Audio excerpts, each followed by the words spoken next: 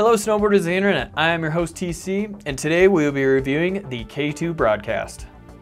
This board is equipped with K2's directional combination camber profile, and pretty much that means you have camber right underneath your feet, right to the inserts, and then rocker from the tip to the tail.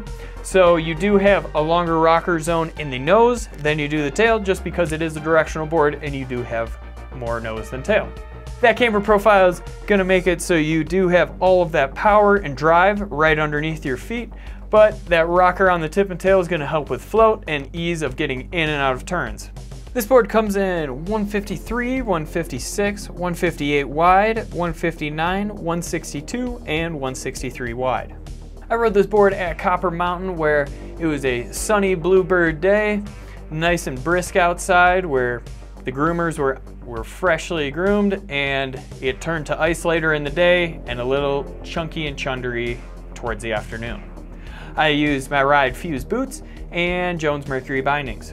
I would say the flex of this board is definitely in the middle of the road where even on those rocker zones on the tip and the tail, I didn't really feel it get super soft or anything like that. It felt nice and smooth throughout the board. When it came to stability, the board was very good at those moderate and slower speeds, but once you got it to higher speeds, it didn't hold an edge quite as well. Although it was damp, so I didn't really feel all of that chunder and icy conditions towards the end of the day, I did feel it didn't hold the edge when it came to like those giant high speed carves. When it comes to ollieing this board, it does feel like a traditional camber board where you're not feeling that soft rocker section in the tail quite as much, where you do get a nice return on that snap, and with all that energy you're putting in, you're getting back. This board definitely feels different when you're buttering on the nose as opposed to the tail, where on the nose you have a giant rocker zone, so it's easier to press into it. You have a little bit more leverage to really get it on edge there and hold it. Where on the tail, you have that, that shorter zone, probably right about here to right about here, where when you go to flex on it, you don't have as much room to play with, so it has to be a little bit more precise. Now, they both will still snap you out of your butter, so you don't have to worry about really flexing out of it or anything like that, but it is gonna feel a little bit different buttering on the nose and the tail. As I mentioned before, this board doesn't carve best at high speeds. It definitely excels more at those moderate to slower speeds, that rad dad speed as I like to say, where it is good on those short carves since it is directional, has taper, you are gonna be able to get it edge to edge nice and quick.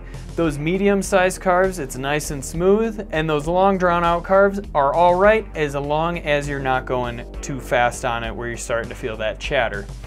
Now when you get to the Euro carves, it does Euro carve at those slower speeds, but like I said before, there is a speed limit. You might overflex that board on a fast Euro carve and just pop right out. The rider in mind for this board is honestly, I think it's that rad dad, that person that's gonna go out there with their kids and just ride the mountain. And then when they're like, all right, it's lunchtime, you guys go hang out with mom, go hang out with whoever. I'm gonna go rip the mountain by myself. That's who this board is for. They can take it wherever they want. They're not gonna be pushing their limits because they got a family to feed at home, so they don't wanna get hurt or anything like that. And they're just going out there to have a good time. They just need one board to do everything and just pretty much cruise the mountain.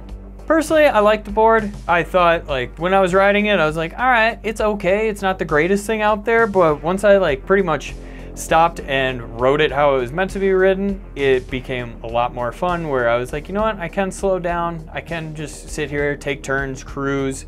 I did notice that it was kind of weird landing switch on it where I really did not want to ride switch on this board. So just popped right back to regular and just called it a day and was like, all right, that's it. We're just gonna ride regular and we're just gonna hit some nice cruisy groomers.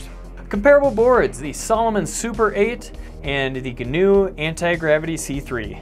Recommended bindings, K2 Bond, Ride C6, and Jones Orion. I've been your host TC, and this has been my review of the K2 broadcast. Do you agree? Do you disagree? Do you own one? Are you going to buy one? Leave a comment down below. I want to know what you guys have to say. Remember, if you're new here, subscribe, click that bell, turn on those notifications. If you want to support us further, head on over to Angry Snowboarder VIP. Sure, I could explain it here, but we have a great video over there getting into it really in depth. And as always, guys, I've been your host TC. I'll see you out on the mountain.